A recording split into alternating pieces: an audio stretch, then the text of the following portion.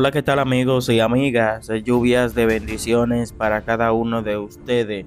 Espero que todos se encuentren bien en el día de hoy. Bueno, señores, noticia de último minuto. Increíble, pero cierto, señores, lo que acaba de ocurrir ahora mismo.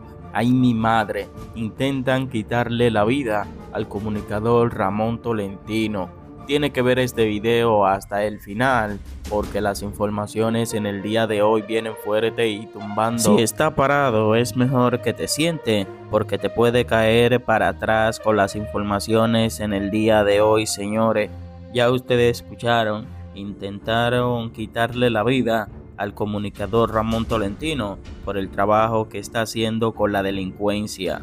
Increíble pero cierto señores pero antes de entrar en materia con estas y más informaciones, quiero pedirte que te suscribas, que actives la campanita de notificaciones, comparte esta información para que así le llegue a más personas y se enteren de lo que está ocurriendo ahora mismo en el país.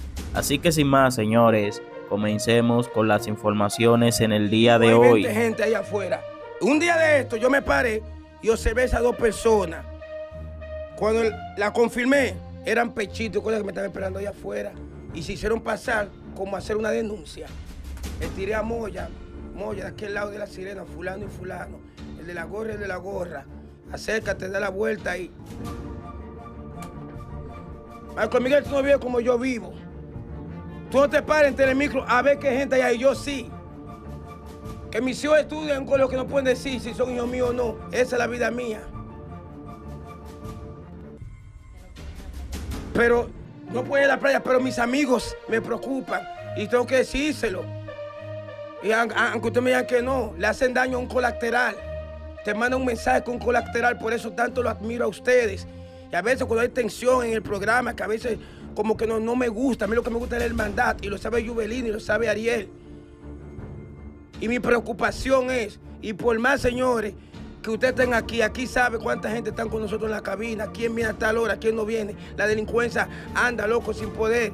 ¿Y cómo tú haces un programa mirando por ahí afuera, ve cuánta gente hay? Aquí vino un muchacho a apuntar por con 20 años de prisión, que por eso fue que me ponen a mí, a la seguridad. Miren esto.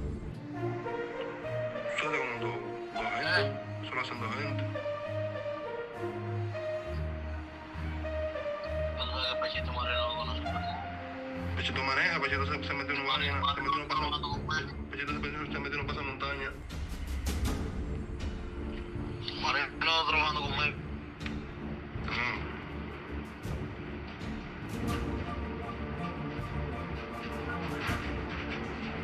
Escuche. Entonces yo creo que tú me llamas, rapea que lo que va el santero, que te dé las instrucciones heavy. Eh, a, al Genis Oro, porque se me olvidó el nombre. Aquí hay dos personas que fueron los que te hicieron la pregunta. En, este caso, Pedro Manuel Casales y Martínez Brito hicieron una pregunta muy inteligente. Cuando pasa un maldito robo, un santero hay en un sitio, coño. Alguien estaba ahí. No, no acusa a nadie por un santero. Pero ¿quién vale por Dios a Lomina? ¿Quién va a Villamella? A fulano. El señor ha vendido, hermano. Usted tiene, estos dos juritas te abrieron los ojos. Tienes que sentarte con tu mente tranquila. Subir los pies en agua fría y comenzar a analizar con quién fue la última persona que hablé. ¿Cuántas personas habría por la zona? Señores. No, y los empleados. Y los empleados. Pero mira quién. Los empleados y los familiares. El hijo de la doña me dice que viene un día sí, un día no con la mujer. Ayer, después de haberme obligado o haber obligado a la empresa, repito, no por miedo, porque la empresa me cuida, sale la siguiente denuncia. Policía Nacional, y le voy a recordar, los panchos fueron todos los grupos, todos los puntos de estupefacientes que yo mencioné aquí. Que hablé del bico, del fulano. De, tú mencionaste los puntos uno por los Puntos, exactamente, Santana. Que el audio está viral. La Dirección de Comunicación Estratégica Central de Inteligencia de la Policía Nacional con el apoyo de la Unidad SWAT y la Policía Preventiva, en coordinación con la Fiscalía del Distrito Judicial de Santo Domingo Norte, efectuó allanamientos contra una organización criminal conocida como Los Panchos, dedicada a realizar actividades delictivas. Durante los operativos, estoy leyendo una nota de prensa porque, oye, para que esto, el departamento legal me pidió que ni mencionara los nombres. Todavía no puedo mencionar. Porque yo estoy esperando ya que la policía mencione. Yo tengo todas las fotos, pero que la policía se la juegue y diga todos los nombres. Pero el departamento legal me dijo, mañana no diga los nombres de las personas que fueron apresadas. Durante el operativo fueron detenidos, aquí lo menciono, porque esto lo consulté. Alejandro Castro, miembro de la banda liderada por John Brian Rosario, Lanoy Casimiro y Mamao, quienes se, quienes se encuentran prófugos. Esta organización criminal se dedicaba a cinco allanamientos. Entonces vamos a presentar don Martínez Brito. Eh, las notificaciones se las voy a enviar también. Aquí, aquí están todas las AR8, AK47, UCI, de una de la banda que yo le voy a decir porque esa banda es peligrosa. Miren, todo lo que encontró la policía a la banda. Ay, cocho, le es que el audio no se puede. Bueno, se mutea ahorita cuando suba porque esto en vivo. En YouTube es que lo sube, ¿ves? Aquí están todas las armas que fueron incautadas por eso. Entonces, no es posible que a nosotros, un delincuente, no esté judicializando para poderse embalar ante un proceso y que nos obliguen a los periodistas de investigación a tener que estar viviendo sobre esto. Cuando yo dije lo que dije, yo pienso, mis compañeros, que se sientan ahí, mire, con toda la confianza. miren cómo nos están tratando a nosotros para que ustedes vean. Miren esto. Notificación de querella y de audiencia. Si esto a mí, alguien no me ayuda, porque no llegó aquí, venían a buscarme preso acá. Porque esa fue la intención.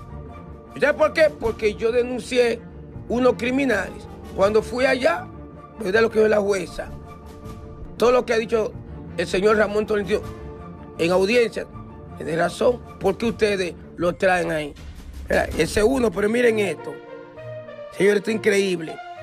Obligamos a la empresa, a los Foque Media Group, a Ramón Tolentino y al programa de Estudios Radio a eliminar, a bajar el video donde fueron mencionados los panchos. Yo me sentí mal con la empresa. Porque cuando a mí la empresa, nuestro abogado Borda dice, hay que bajar el video. Pero no por miedo, sino porque me querían condenar. Me iban a llevar a los tribunales. Míralo aquí donde está. Que el ciudadano Ramón Tolentino y el programa Esto no es radio procedan a eliminar y a bajar el video donde fue difundido la banda Los Panchos porque yo y esta empresa hablaba mentira. Me sentí triste, Santiago me dio una terapia, me dio una terapia a Melvin y Bordan de manera magistral se sentó y me explicó, hay que cuidarte. Porque esa gente viene con todo contra ti. La empresa no tiene miedo. Pero vamos a eliminar el video. Busquen los panchos, no está aquí. En esto no es radio.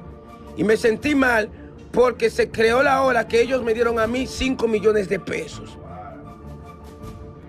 Entonces, al video no aparecer, esto ha sido difícil, muchachos, aquí. Lo que pasa es que yo a veces vengo fuera. Bueno, señores, ya ustedes escucharon cómo es que está la situación ahora mismo del comunicador Ramón Tolentino, que su vida siempre está en peligro, ya que muchos delincuentes andan atrás de su cabeza.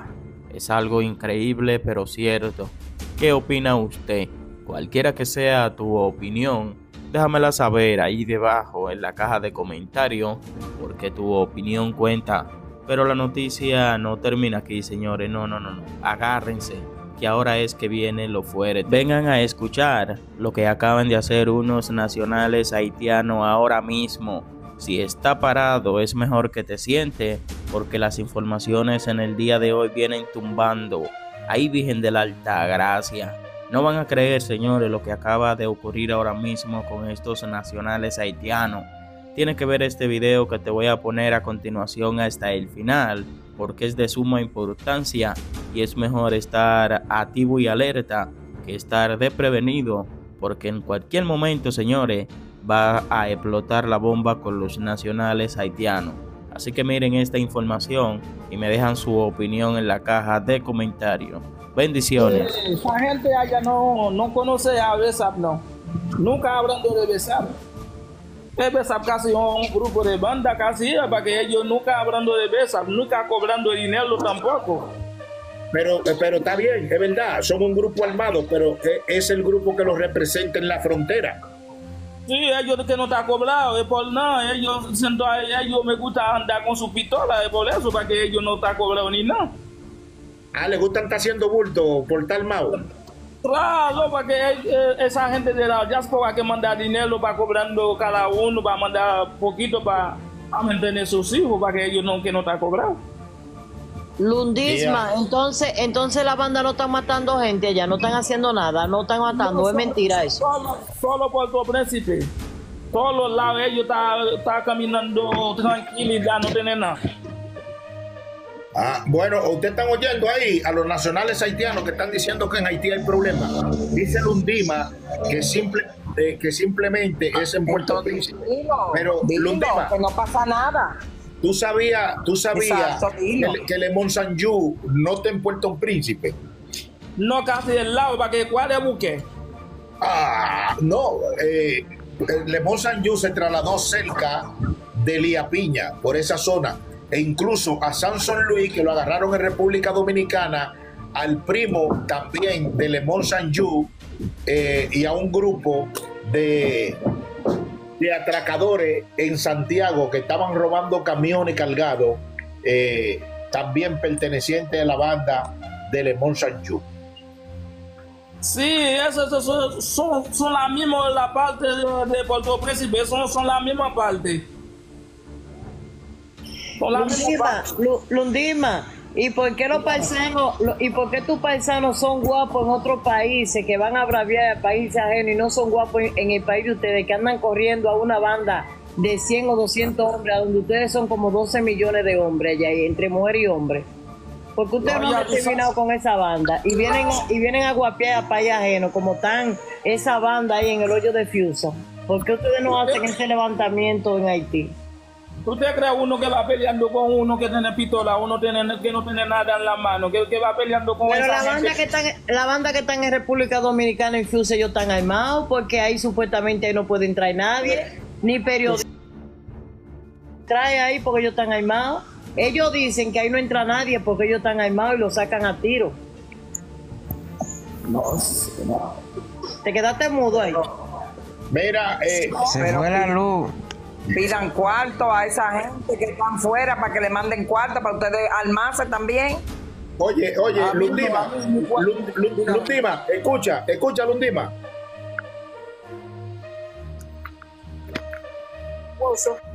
Con una célula de la Oye, banda ese del pandillero Pierre Pegui. Pierre Pegui de los 400 Mawoso había operado con una célula de la banda en el Cibao, desde donde robaba camiones de carga comercial para llevar las mercancías de contrabando a su país.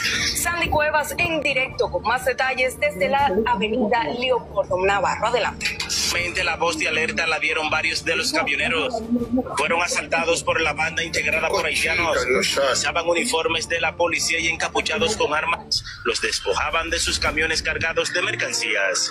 está avanzado, ya nosotros tenemos una gran parte de las personas ¿Tú estás eh, viendo, arrestadas para investigación y se está en proceso para, para terminar de, de, de apresarlos. De que, Juan Bautista Jiménez Reynoso precisó que dentro de los 15 detenidos se encuentra Glenis Gómez Santana, esposa del presunto cabecilla de la peligrosa banda que opera en Haití los 400 Mahuaso. es un proceso de investigación y la Policía Nacional ya cuando haya concluido el, el, el proceso y hay- hayan sido arrestados todas las personas que están involucradas, entonces la Dirección de Relaciones Públicas le dará los detalles. Aunque las autoridades aún no han precisado el tiempo que llevaba la banda operando en el país, indicaron que aún están detrás de varios integrantes que están prófugos en territorio dominicano. Los organismos de inteligencia, la Nacional, la Policía Nacional están haciendo su trabajo de manera ardua y permanente. Cuando ustedes conocen la Ya, Lundima, tú estás tú estás viendo que eh, Sí. no, simple- no simplemente en Puerto Príncipe. Pregúntale a ver, se le escuchó, pregúntale. Guerra, guerra civil. Dígame. Eh, llegó el, el estadounidense, está ahí al lado tuyo ese. Ponlo a hablar, Feli, el estadounidense llegó ahí. Ah, sí, míralo ahí. Oh, cadena. ese, no. Buenas noches, Josaf- Josaf- Josafat. Buenas noches. Buenas noches. ¿Qué bajo? Eh, Josafat, Oye, está- dime.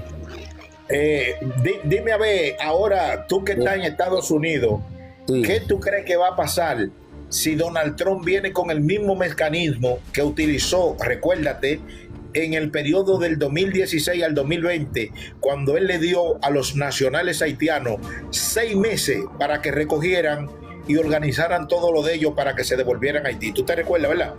Sí, sí, yo me recuerdo, yo estaba aquí. Ah, ok. Dale, ¿qué tú crees que, qué tú crees que pase ahora con Donald Trump? Que dijo Lo que que va viene a pasar ahora es diferente, papá. Lo que va a pasar ahora es una No, no, fuerza. no, no, no, no. Recuérdate, recuérdate que él se refirió al asesinato de los tres misioneros, entre ellos incluido un haitiano, dos, Que, dos que eran norteamericanos, que incluso el papá eh, Era un eh, senador. El senador que, de los republicanos. Eh, ¿Qué tú crees que pase? Cuenta. Ok, papo, ok. Oye, según análisis que yo hizo, lo que va a pasar aquí en Estados Unidos, y Trump decide lo, lo que él dice que va a hacer, él va a deportar más de 40 millones de inmigrantes, mayoría va a ser hispano como tú, y haitiano va a estar ahí también. Son inmigrantes que están viviendo aquí sin papeles, no tienen documentos. Y mayoría son hispanos. Yo no estoy diciendo haitianos no se van también. Haitianos se van también. Pero hay menos haitianos que van que hispanos porque la mayoría comunidad que está en Estados Unidos son hispanos y son ellos que controlan los negocios acá en Estados Unidos. Porque tú ves cada negocio, tú entras y ves como 8 o 10 hispanos trabajando. Entonces tú no ves un moreno americano. Entonces significa eso hispano va a coger un golpe bien fuerte. Por eso que yo tenía que pensar primero antes de hacer echar la pata. Pero ya eso está hecho.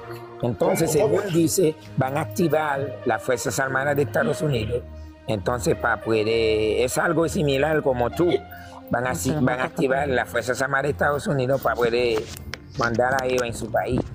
Y eh, yo no sé cuántos aviones no se van disponibles para eso, pero va a haber un Yo dinero, sé, van a gastar un dinero sé, fuerte para eso. Yo sé, Trump tiene los ojos puestos en lo que están comiendo ganso, gato y perro allá afuera, que lo va a mandar No, no, eso comer es perro y gato para allá, Eso para es su falso. país. No, Eso no, es no, falso, no, no, yo-.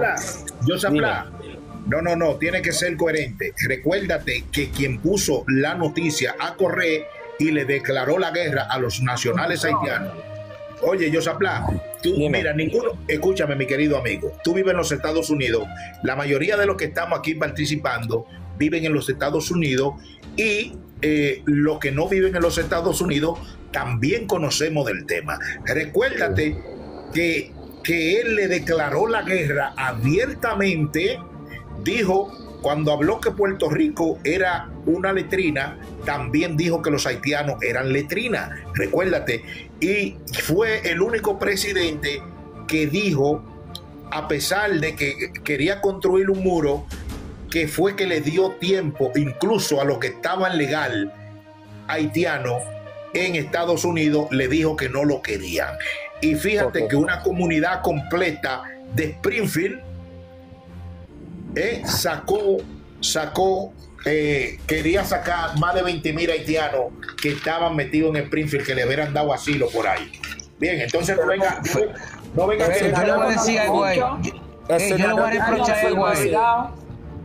De escúchame. Dice, el senador de Springfield dice que ningún haitiano hace eso, que el, el senador, Josafá. el senador defendió Josafá, y declaró que eso. escúcheme. Josafá, escúcheme, mire. Oiga lo que le voy a decir yo a usted. Conmigo no.